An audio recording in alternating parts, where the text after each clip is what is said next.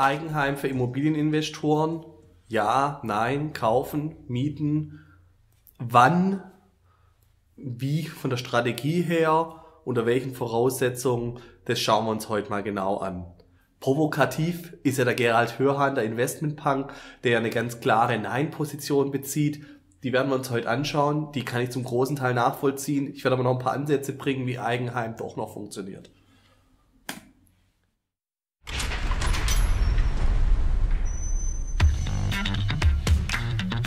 Mieten oder kaufen?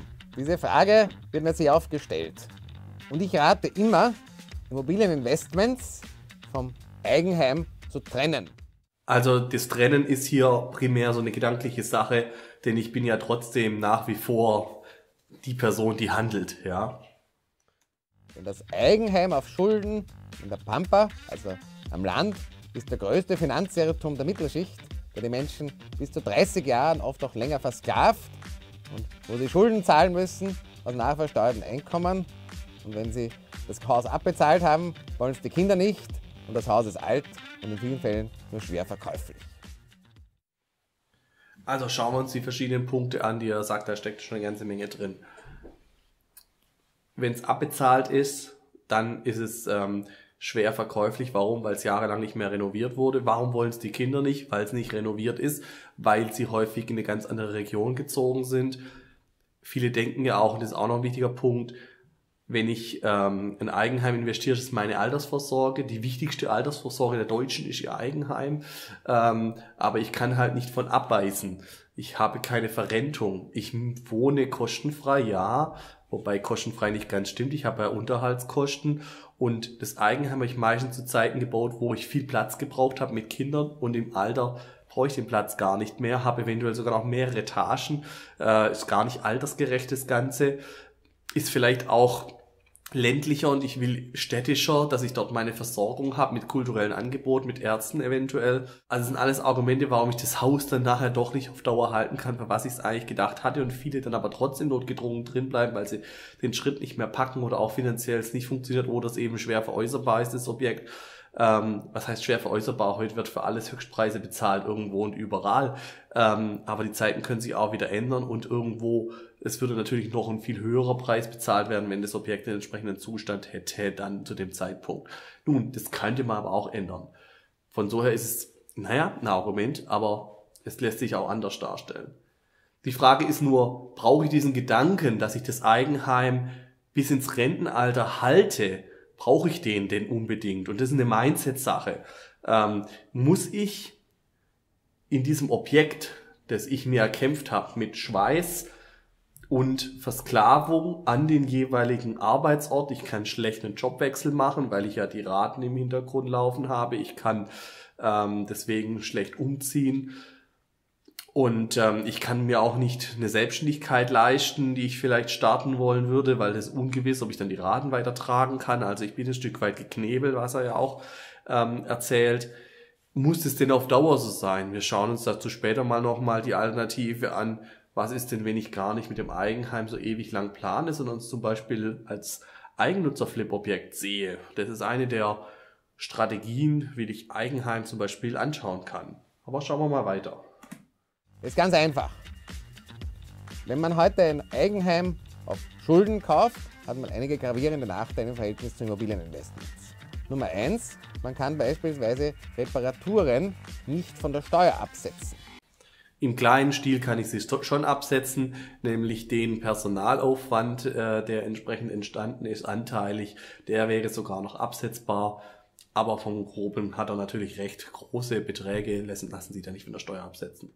Wenn ich heute ein Zinshaus habe oder eine Wohnung und die Heizung ist kaputt und ich rufe den Handwerker, kann ich die Heizungsreparatur aus unversteuertem Geld bezahlen und von der Steuer absetzen. Unversteuertes Geld und Absetzen funktioniert natürlich nicht, aber eins von beiden, das meint er hier auch. Ist das beim Eigenheim der Fall, wo ich, was ich besitze, dann kann ich das nicht. Auf der anderen Seite, wenn ich nur ein Eigenheim miete, kann ich einfach den Vermieter anrufen und sagen, bitte die Heizung in Ordnung bringen, sonst bezahle ich die Miete nicht. Dafür zahle ich natürlich auch äh, die entsprechend hohe Miete Und das Argument von vielen ist ja, dass sie sagen, für das Geld, was ich für Miete bezahle, bekomme ich heute bei den niedrigen Zinskosten dann eigentlich auch schon die komplette Darlehensrate fürs Eigenheim finanziert, sodass ich hier dann ähm, das Eigenheim finanziert. Der zweite Punkt ist, dass kleine Wohnungen eine wesentlich höhere Rendite haben als Großwohnungen oder gar ganze Häuser. Die Grundsatztendenz, dass die kleinen Wohnungen eine höhere Rendite haben als ähm, die Einfamilienhäuser, gilt für die städtische Region definitiv. Wenn ich allerdings jetzt vergleiche die Einzimmerwohnung in der Stadt mit dem Einfamilienhaus auf dem Land, so kann ich dann doch tatsächlich auf gleiche Mietrenditen kommen, ähm, sodass also dieser Vergleich insofern hinkt. Jetzt kann man natürlich argumentieren, dass die Einzimmerwohnung in der Stadt sicherer sei ähm, als das Einfamilienhaus auf dem Land, aber von den Renditen her bekomme ich hier schon dasselbe hin. Dieses Einfamilienhaus in der Stadt ist natürlich von der Rendite völlig uninteressant. Die Einzimmerwohnung in der Stadt kann noch funktionieren. Die Vierzimmerwohnung in der Stadt funktioniert mit der klassischen, mit dem klassischen Vermietungskonzept in den Top-Metropolen normalerweise nicht mehr von der Mietrendite. Im Neubau sowieso nicht. Ähm, mit ähm, WG, Zimmerweiser, Kurzfristvermietung etc. funktioniert natürlich auch die größere Wohnung in der Stadt entsprechend. Das heißt, wenn man heute Immobilien kauft, beispielsweise Einzimmerwohnungen, hat man einen viel besseren Ertrag und gleichzeitig dann das Eigenheim mietet, als wenn man nur das Eigenheim kauft und dann keine Immobilieninvestments hat. Ertrag ist halt die eine Seite. Hier haben wir gesehen, ich kann durchaus auch mit dem Einfamilienhaus in ländlichen Gebieten und ich bin der Meinung, die sind sicherer anstatt unsichereres Investment, was zumindest die Wertentwicklung ähm, angeht, weil ich ja gerade in den städtischen Lagen extreme Wertsteigerungen drin hatte die letzten Jahre, die entsprechendes Rückschlagspotenzial bieten. Und das habe ich eben ländlich noch nicht so stark mitgemacht. Sehe ich also die ländlichen Regionen als sicherer an als die städtischen Regionen. Und ich habe natürlich weniger Mieter, die ich dort finde. Ich muss länger suchen. Allerdings finde ich auch dort entsprechende Mieter, wenn ich äh, entsprechend gutes Angebot habe. Und das hat auch einen Vorteil, wenn ich heute beispielsweise ein Unternehmen gründen will oder einen Bankkredit für eine Unternehmensgründung benötige und ein Eigenheim mit viel Schulden habe, werde ich das nie mehr bekommen. Also das ist äh, natürlich dann der Fall, wenn ich das Eigenheim völlig überteuert erworben habe. Dann habe ich dieses Problem, wenn ich einen vernünftigen Preis im Einkauf für das Eigenheim bezahlt habe, dann habe ich das Problem nicht. Das ist ein weiteres Problem mit dem Eigenheim dass ich dazu neige, hier eben einen Haufen Wünsche zu haben. Äh, und deswegen diese Wünsche und emotionalisierter Kauf dazu führt, dass ich unter Umständen kein Schnäppchen mache. Wenn ich an das Eigenheim gedanklich wie in ein Investment rangehe und sage, ich brauche einen Einkaufsgewinn, ich möchte es aufwerten, eventuell sogar durch Eigenleistung und ich bin etwas flexibler, was den genauen Standort angeht und die genaue Größe, Ausstattung etc., dann kann ich hier eben auch ein super Schnäppchen machen im Einkauf und dann habe ich dieses Problem nicht mehr so stark. Und wenn ich einen Einkaufsgewinn fabriziert habe, dann habe ich ja sogar noch das Vermögen gesteigert im Vergleich äh, zu, wenn ich das Eigenheim nicht hätte, dann kann das für meine Unternehmensfinanzierung, wenn ich denn überhaupt eine möchte, sogar positiv sein. Und auch für weitere Immobilieninvestments ist das Eigenheim sehr positiv. Es gibt einige Banken, die es sehr kritisch sehen, wenn ich kein Eigenheim besitze und nur vermietete Objekte habe. Bei den Blankodanen zum Beispiel ist es so, dass viele Programme darauf bauen, dass ich ein Eigenheim habe. Also das Eigenheim wird durchaus positiv von Banken wahrgenommen egal ob für eine Firmenfinanzierung oder weiteres Immobilieninvestment, ähm, sofern ich mich nicht völlig überladen habe, viel zu groß, viel zu teuer, viel zu hohe Raten und das Objekt auch vom Einkaufsgewinn her überhaupt nicht gepasst hat, sondern überteuert gekauft wurde, dann verbaue ich es mir. Wenn ich allerdings günstig einkaufe, niedrige Ratenbelastung habe, es gut in die Haushaltsrechnung passt, ich meine Vermögensbilanz sogar noch verbessert habe, dann ist es positiv. In allen anderen Fällen kann ich nur dringend empfehlen, wohne zur Miete und kaufe gleichzeitig Immobilien als Geldanlage. wohne zur Miete und kaufe Immobilien zur Geldanlage, finde ich eine super, äh, ein super Grundsatz. Ähm, trotzdem kann es manchmal auch gut funktionieren mit dem Eigenheim und bietet ja auch die entsprechenden Vorteile. Und versklave dich niemals für ein Eigenheim, das sehr individuell ist am Land, vielleicht noch mit Marmorbad und schönen Kamin. Es sei denn, das Marmorbad und der schöne Kamin war for free und es war entsprechend günstig. Also Neubau sicherlich nicht, aber ähm, Bestand aus einer Verwertung, ähm, du kriegst ja diesen Preis nicht wieder für diese Luxusausstattung, Pool etc. Ähm, aber wenn sie mit dabei sind auf dem Land, dann kannst du natürlich mitnehmen. Und das ist ein finanzielles Armageddon, das dich über Jahrzehnte lang versklavt. Jetzt schauen wir uns mal den klassischen Einsatz an, wie unsere Kunden mit Eigenheimen umgehen. Zum einen die Strategie von Gerald Hörhan, ähm, kleine Wohnungen als Start zu nutzen, also auch die erste Zwei-Zimmer-Wohnung zum Beispiel Wobei ich jetzt hier kein so äh, Fan bin, dass ich sage, es muss unbedingt die Einzimmerwohnung sein. Das ist sowieso ein sehr starker Fokus, den viele Kunden haben auf diese Einzimmerwohnung in Städten, ja, wo von vielen gepredigt wird, da gibt es zu wenig Objekte und es werden zu wenig Deals geschaffen nachher, die da reinfallen. Ähm, deswegen würde ich den Fokus da nicht so stark drauflegen, aber zum Eigennutz passt auch äh, eine Zweizimmerwohnung meistens ganz gut und die ist immer noch günstig genug häufig. Und ähm, die habe ich jetzt ähm, am Anfang eigengenutzt und äh, später vermiete ich sie zum Beispiel. Ist zwar jetzt nicht die ideale Kombination, aber so könnte man zum Beispiel starten.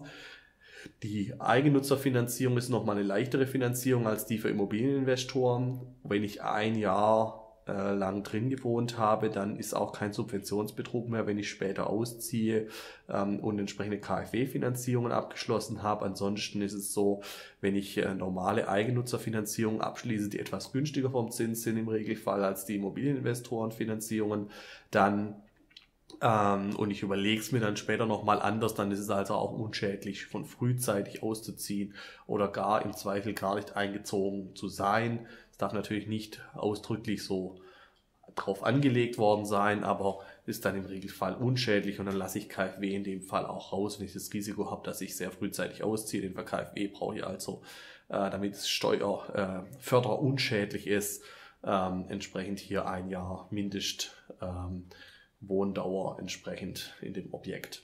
Dann ein weiterer Verwendungszweck wie Eigenheim ganz häufig genutzt wird, das ist die ist der Eigennutzerflip. Hier brauche ich natürlich eine gewisse Flexibilität, auch von meiner Familie, von meinem Ehepartner im Zweifel, wenn ich das nicht alleine mache, denn häufig sind es Einfamilienhäuser, Reihenhäuser, die hierfür genutzt werden und die nutze ich selten als Single alleine oder in einer Partnerschaft alleine, sondern da bin ich eher Richtung Wohnung unterwegs. Und ähm, hier ist es so, dass ich also eine zehnjährige Zinsbindung abschließe, mir eine 100% Sondertilgungsoption nach meistens zwei Jahren einräumen lasse und dann entsprechend äh, das Objekt, wenn ich es leer bezogen habe, habe ich keine Frist. Wenn ich ähm, das erste Mal vermietet erworben habe und dann erstmal ähm, mit Eigenbedarfskündigung hineinziehe, übrigens Eigenbedarfskündigung auch ein tolles Instrument, um Wohnungen, die mit massivem Underrent am Markt sehr günstig erworben werden, durch eine erst einmal eigengenutzte Zwischennutzung entsprechend zu entmieten und massiv im Werk zu steigern. Tolle Strategie. Ähm, wenn ich ähm, also ein, äh, ein Objekt habe, das ich leer erworben habe, habe ich keine Frist. Wenn ich es vermietet erworben habe und äh, ziehe dann erst noch ein, habe ich eine Frist von drei Kalenderjahren. Das heißt, drei Jahre müssen angeschnitten sein. Das heißt, im Zweifel 31.12. ein ganzes Jahr 1.1. Dann sind drei Jahre angeschnitten und dann kann ich also steuerfrei veräußern. Eigennutz ist steuerfrei veräußerbar. Entweder gar keine Frist, weil ich es leer gekauft habe, oder die drei Kalenderjahre Frist. Und ähm, die Vorfälligkeit in der Finanzierung entsteht entsprechend auch nicht, weil ich ähm, meine, mein Sonderkündigungsrecht entsprechend nutzen kann. Und dann kann ich natürlich massiv Kapital aufbauen, indem ich ähm, ein ländliches Einfamilienhaus erwerbe, schön herrichte, dann mal zwischendrin for free fast äh, ein bisschen gewohnt habe und dann damit die Zeit überbrückt habe und es dann wieder steuerfrei veräußert habe. Immer mal wieder so ein Eigennutzerflip nebenher zu machen, ist die Strategie von vielen unserer Kunden und ähm, absolut zielführende ähm, Sache zum Vermögensaufbau und um Eigenkapital für weitere Buy-and-Hold-Investments oder weitere Fix- und Flip-Deals bereitzustellen.